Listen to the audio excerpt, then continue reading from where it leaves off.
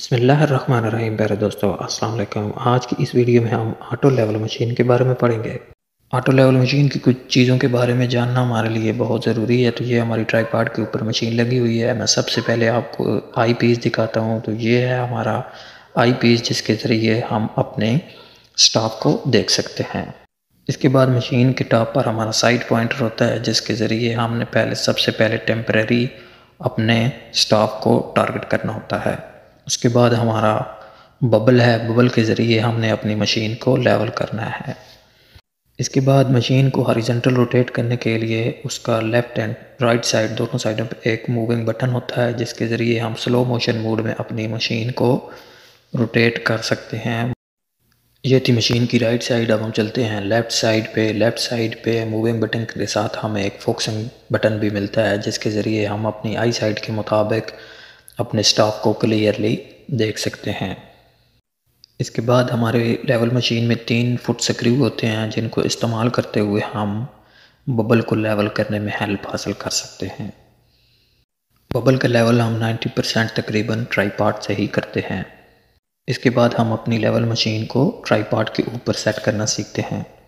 सबसे पहले मैं अपनी ट्राईपार्ट की एक लेग के स्क्रू को ओपन करते हुए अपने ट्राईपार्ट को अपनी बॉडी हाइट के मुताबिक एडजस्ट कर रहा हूँ। बॉडी हाइट के मुताबिक एडजस्ट करने के बाद हमने फ़र्स्ट लेग के स्क्रू को टाइट कर देना है और बाकी दो लेग्स के स्क्रू को ओपन कर लेना है। ओपन करने के बाद इन दोनों लेग्स की हाइट को भी पहली लेग्स की हाइट के मुताबिक इक्वल कर लेना है और इक्वल हाइट तीनों लेग्स की इक्वल हाइट करने के बाद बाकी दो लेग्स के भी स्क्रू को टाइट कर लेना है।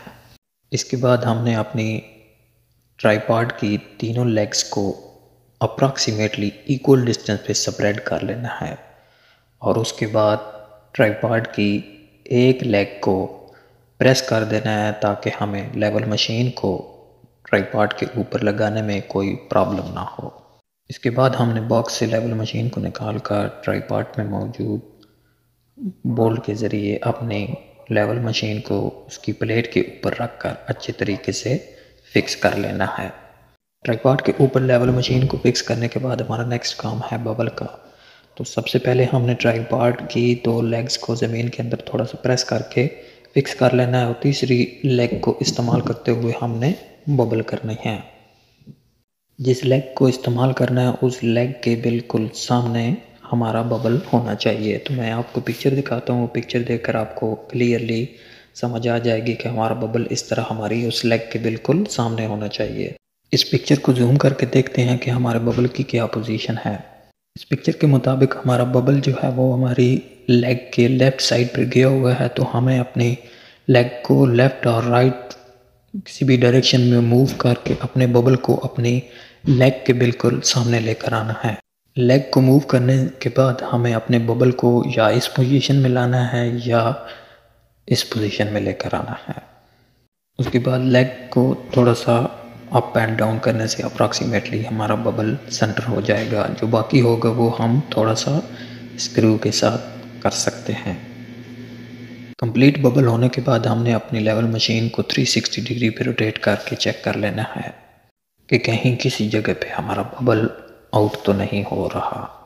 हमारी मशीन अब कम्प्लीटली बबल हो चुकी है तो उसके बाद हम अपनी मशीन को रोटेट करके बीएम की तरफ़ कर लेते हैं, जहाँ से हमने अपने काम को स्टार्ट करना है।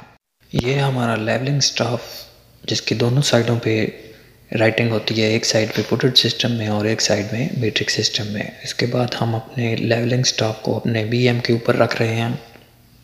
इस तरह हम मशीन के आई को इस्तेमाल करते हुए आप अपने काम को कंटिन्यू कर सकते हैं। ये थी मेरी आज की वीडियो अगर आपको वीडियो अच्छी लगे, मेरी वीडियो को लाइक करें चैनल को सब्सक्राइब करें बेल आइकॉन ज़रूर प्रेस करें ताकि मेरी आने वाली वीडियो की नोटिफिकेशन आप तक पहुँच सके।